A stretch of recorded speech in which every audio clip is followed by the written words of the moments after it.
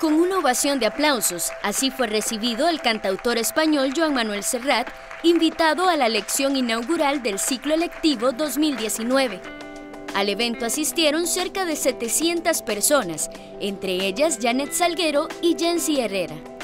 Trabajé 35 años en la Universidad de Costa Rica, tengo dos años de jubilada, este, estoy muy contenta y muy feliz de venir otra vez al Alma Mater este, venir a ver a Joan Manuel Serrat es todo, bueno, es una trayectoria de él como músico de uno, sus años de juventud, fue la música que uno disfrutó. Me motivó el inicio de un año que creo que académicamente va a ser muy provechoso y que la actividad con el don Joan Manuel va a ser muy interesante escuchar lo que él nos pueda comentar y para motivarme más.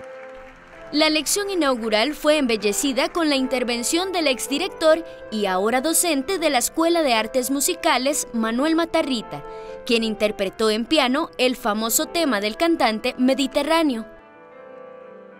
Creo que es un privilegio para la Universidad de Costa Rica y para el país pues poder contar con una figura como Joan Manuel Serrat que venga y comparta sus experiencias en el ámbito académico.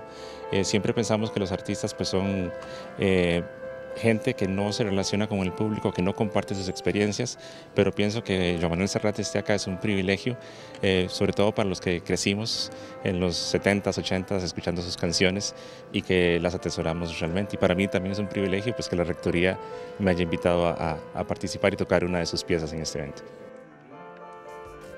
Serrat, conocido por su aporte a la música y a la literatura, compartió durante un largo rato con toda la comunidad universitaria, respondiendo y atendiendo a sus consultas. La última vez que Joan Manuel Serrat visitó la UCR fue en el año 1975.